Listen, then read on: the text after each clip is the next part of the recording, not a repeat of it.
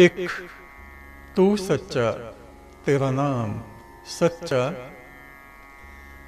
रोगी का और परलोक में मर कर गए व्यक्ति का मित्र कौन है? रोगी का मित्र औषधि। तथा खान पीन का संयम रखना परहेजगारी ही मुख्यता है। परलोक में धर्म आचरण और जीवन काल में किए शुभ और पुण्य कर्म ही मनुष्य के मित्र होते हैं।